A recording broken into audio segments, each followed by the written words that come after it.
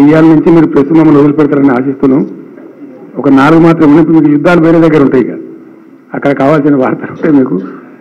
మేము ఎందుకంటే ఫీల్డ్లోకి వెళ్ళిపోవాలి కాబట్టి ఈ నిర్ణయం ఈ విధంగా తీసుకోవడం జరిగింది.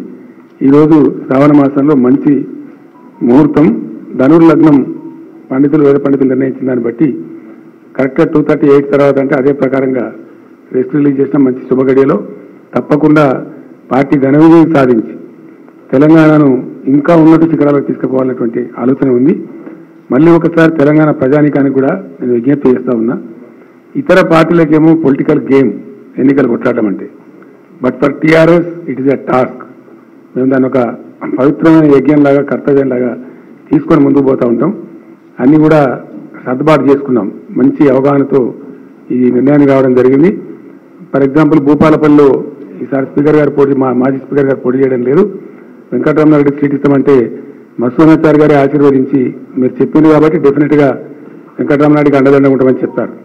అట్లాగే మరొక గొప్ప విషయం మా మహేందర్ రెడ్డి గారు తాండూరు నియోజకవర్గంలో అక్కడ ఒక యంగ్ వ్యక్తి ఉంటే వారికి ఇస్తామని చెప్తే వారు బ్లెస్సింగ్స్ కూడా ఇచ్చినారు.